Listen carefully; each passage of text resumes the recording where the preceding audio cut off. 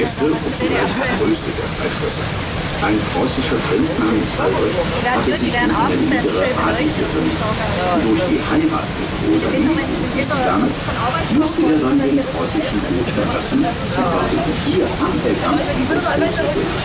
Der jüngste Sohn Albrecht verkaufte 1925 das Anwesen der Stadt Heute ist es immer noch im städtischen Besitz.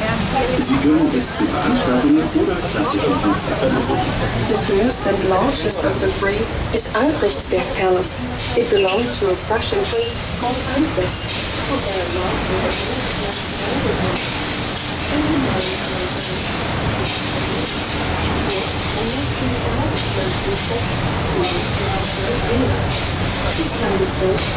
the real estate is in the to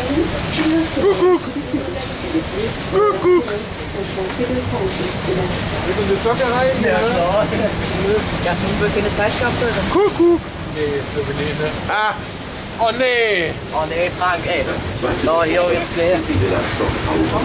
Der erste Besitzer, Baron vom Stockhausen, war der Kammerdiener von Albrecht. Dem kann es also nicht so schlecht gegangen sein.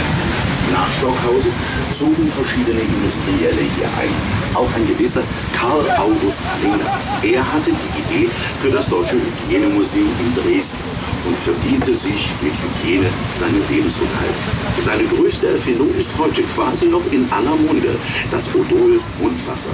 Als Odolkönig starb er hier im Jahre 1916. The second palace is called Villa Stockhausen.